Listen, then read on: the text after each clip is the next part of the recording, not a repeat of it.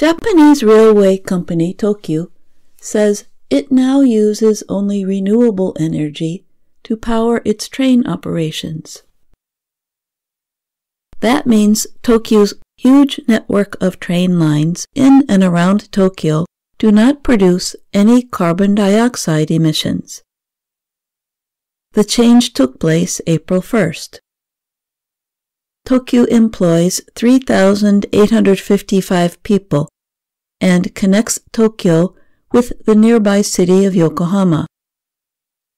It has more than 100 kilometers of railway tracks, serving 2.2 million people a day. It is the first railroad operator in Japan to have reached the goal of zero carbon emissions.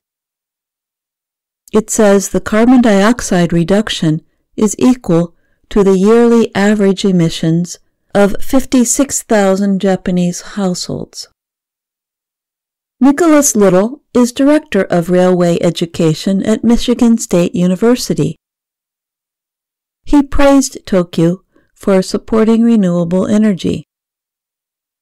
But he noted it is also important to improve ways of creating renewable energy.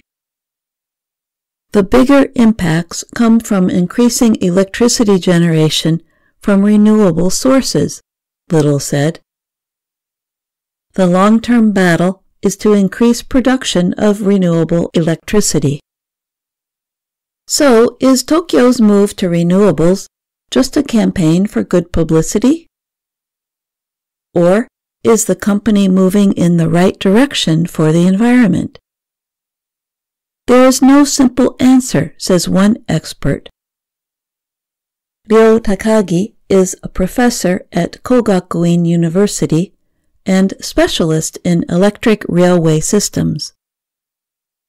He says bigger environmental gains would come from changing rural operations from diesel fuel to hydrogen power or switching to electric automobiles. Tokyu's action is better than nothing, but Takagi said, I am not going out of my way to praise it as great. Tokyu official Yoshimasa Kitano says the company plans more action toward cleaner operations. We don't see this as reaching our goal, but just a start, Kitano said. Such steps are critical for Japan, the world's sixth biggest carbon polluter the country has a goal of becoming carbon neutral by the year 2050.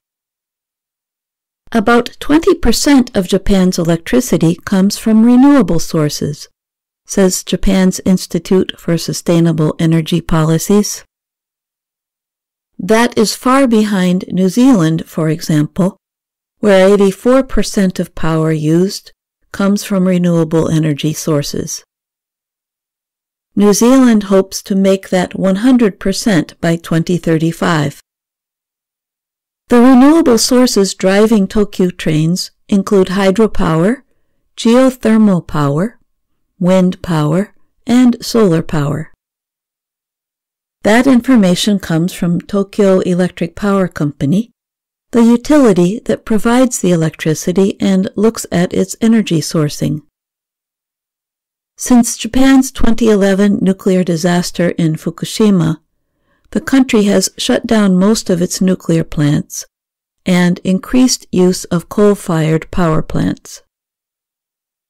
Japan aims to have 36 to 38 percent of its energy come from renewable sources by 2030.